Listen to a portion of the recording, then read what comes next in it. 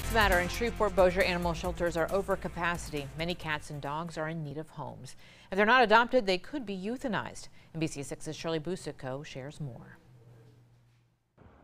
The Bossier City Animal Services typically can hold up to 100 animals, but they are currently holding a little over 200. Sherry Wood, the superintendent at Bossier City Animal Services, says because they're over capacity, they are unable to take in strays or those wanting to surrender their animals. You know, we hate that we can't just bring them all in, but we have to have a place to house them, and if we don't, that means that somebody has to be euthanized to make that space. And over at Caddo Parish Animal Services, just last month, they received an influx of animals. A little over 500 animals come in in a 30 day period which is a lot for a shelter of this size. There is a nationwide campaign called Clear the Shelters taking place in August. The goal is to encourage people to adopt from their local shelters to stop the overcrowding, which will then clear up space for stray animals comes winter. And so if we don't make that space, we can't take those animals in.